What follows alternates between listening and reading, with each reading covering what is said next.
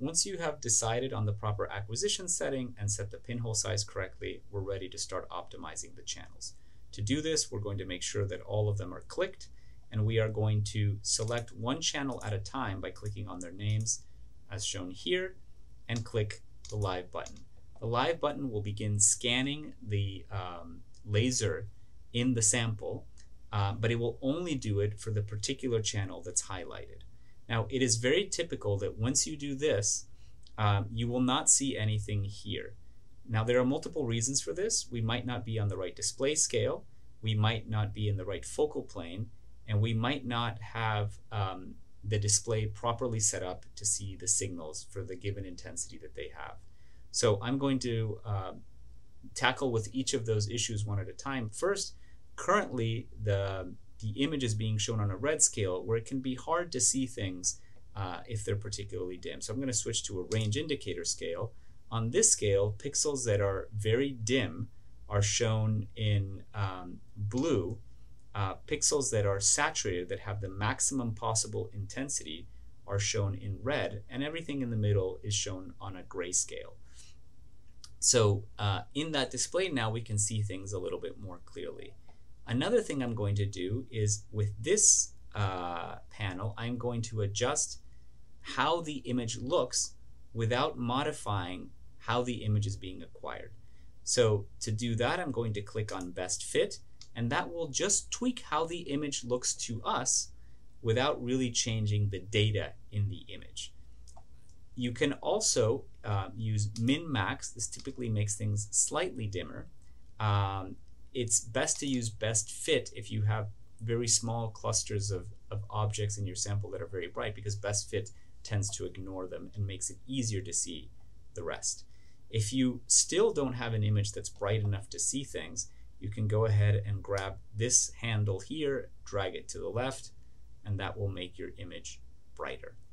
So a brief comment about what we're doing here and what this means. If you zoom into the image, by using the scroll wheel, you'll see that the image is made up of pixels. And so, for example, if I point to this particular pixel, if you look down here, it will report the x and y position of that pixel along with a pixel value, which is an intensity. So that is how much, it's a number proportional to how much light reached the detector at the location represented by that pixel. And those numbers are on a scale that goes from 0 to 65,535.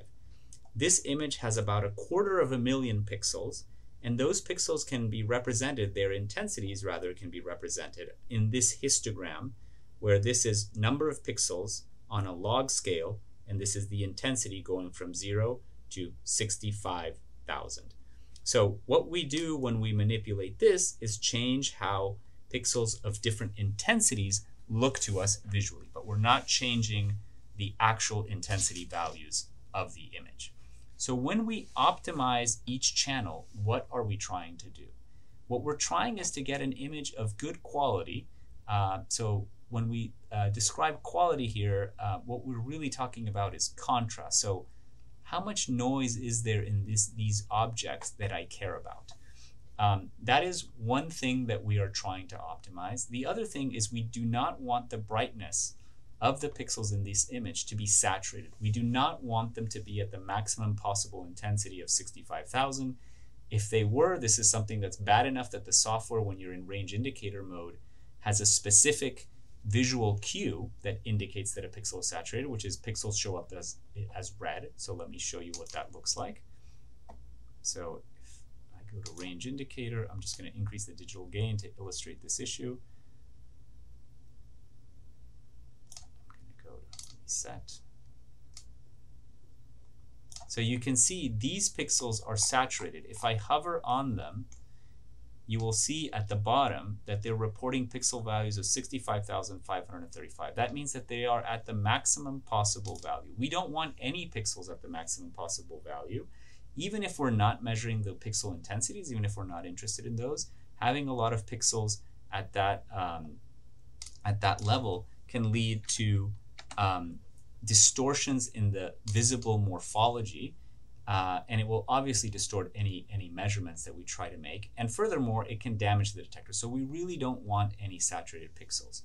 what that translates to in practice is not only not having any pixels that are at the maximum possible intensity, but rather leaving a safety margin, or I should say, as in addition, leaving a safety margin so that we don't have any pixels brighter than about half of the dynamic range, which is between 30 and 40,000. So we really don't want pixels brighter than this because we risk saturation.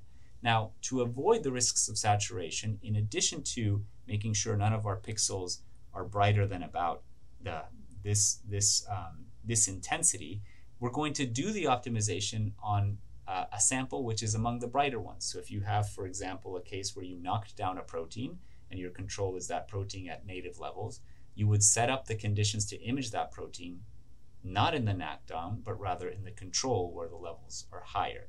That way, when you image all of your samples with the same settings, which is a necessary prerequisite to comparing them, um, none of them will be saturated. So that's kind of a hard limit that we have that we really can't have the brightness go much beyond this because we risk saturation. But we, uh, in addition to sort of not going through that barrier, we do want to improve the quality of the image. And so, what tools do we have to do that? So, the main tool we have is the laser power. The greater the laser power, the brighter the image will be, the more bleaching or uh, you know destruction of the fluorophore there will be, and the higher the quality. So let's illustrate this by changing the laser powers and seeing what happens. So if I go down, for example, to a laser power of 0.12%, this got much dimmer. This histogram shifted to the left. Now I can bring up the visual brightness again by hitting best fit, and you can see that even though the visual brightness of this is similar to before, clearly the quality is much worse. So let's start increasing the laser by factors of 2 and seeing what happens. In each case, what you'll see is the image will get brighter, the quality will get better. Now, as we do this, we should see that the intensities, if we're increasing the laser by a factor of 2, the intensities should also similarly increase by a factor of 2. If they don't, that means your laser power is so high that all of the fluorophores are being excited and increasing laser power does not lead to a higher intensity. You want to avoid that situation because in that scenario you can get a lot of bleaching. Um, so we're in this situation. This still doesn't look particularly good. So if you want to increase it further, that's then this number is about 0.5. I'm just going to increase it to 1% to make the numbers a little bit rounder. So you can see right now that we're at about, uh, you know, 4,000-ish in our brightest pixels. If we increase this again, if we double it and hit best fit, we were at, excuse me, not uh, 4,000, we were at 3,500, now we're at about 7,000. And you can see several things. As I increase the laser, it gets brighter and the signal quality gets better, but by a smaller and smaller amount. So this is very typical. Go here, you can see it doubled again, um, roughly, about there.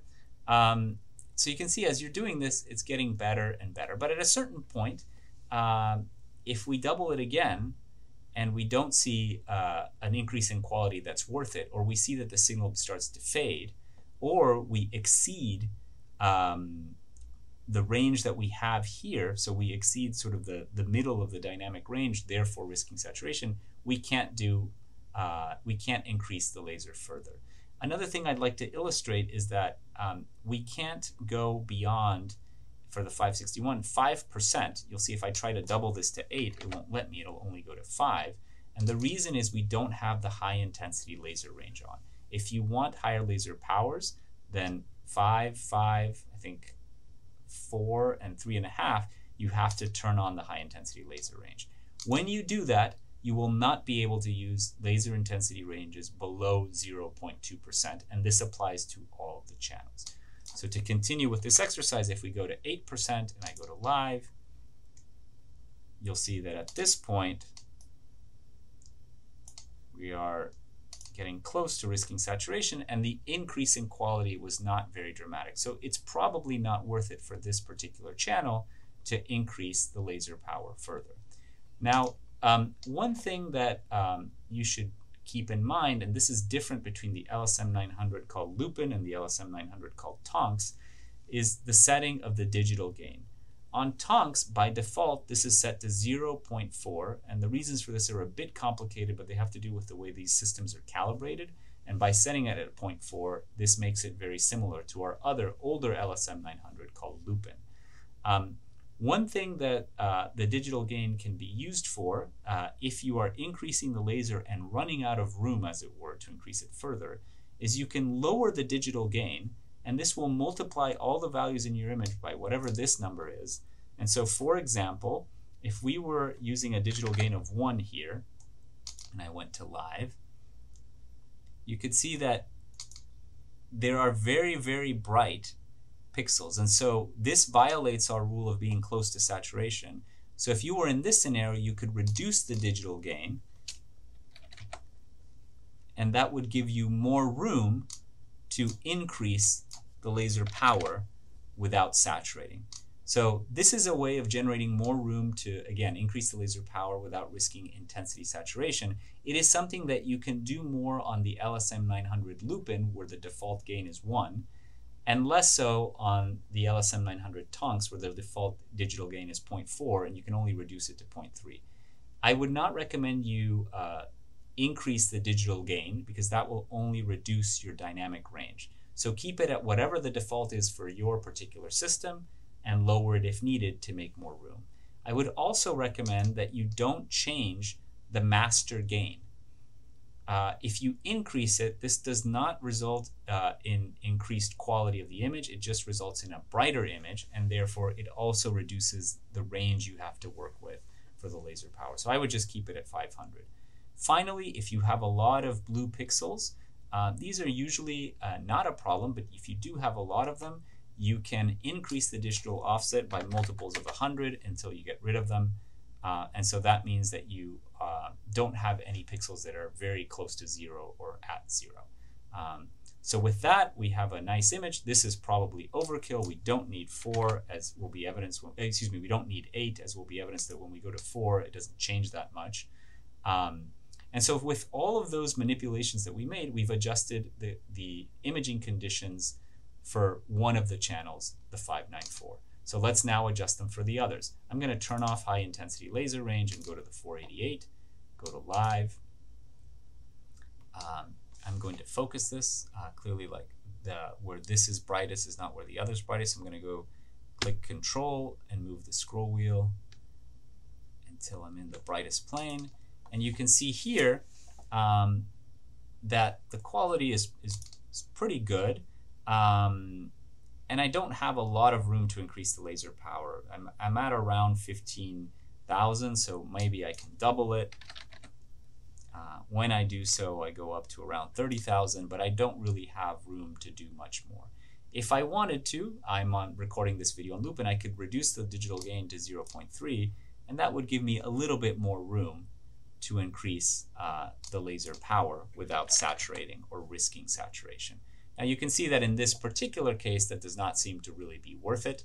Uh, I didn't get a noticeable improvement in quality, uh, but it is something that in some circumstances could be very useful. I'm going to go back to 1.4.